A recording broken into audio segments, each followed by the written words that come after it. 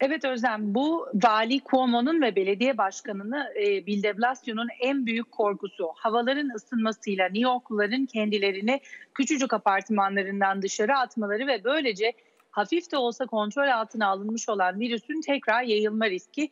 Ki öyle ki şu anda Andrew Cuomo vali tekrar e, günlük basın briefingine e, 20 dakika önce başladı ve ele aldığı tek konu e, 1918'deki İspanyol gribinin de 2-3 dalga halinde New York'u çarptığı ve ikinci ve üçüncü dalgalarda çok daha fazla e, hayat can kaybına sebep olduğunu göstererek acele edilmemesi gerektiğini ve sosyal mesafe kurallarına uyulmasının öneminden bahsediyor.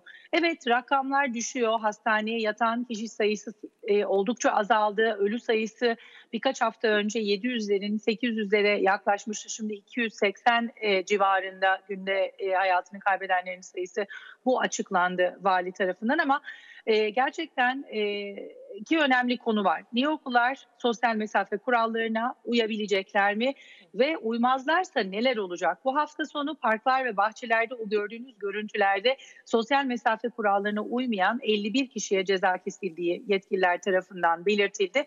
Bunun dışında bir de sosyal medyada yankı yaratan korkunç bir şiddet olayıyla karşı karşıyaydı New York'un e, Central Park'a yakın bir bölgesinde bir polisin sosyal mesafe kurallarına uymayan bir grup genci dövmesi olay yarattı. Şimdi herkesin e, aslında aklındaki soru zaten polis şiddetinin e, her zaman gündemde olduğu bir şehirde acaba polis bazı bölgelerde parktaki kişilere ceza keserken daha farklı sosyoekonomik yapısı olan bölgelere geçtiğinde şiddet mi uygulayacak sosyal mesafe kurallarını uygulamak için?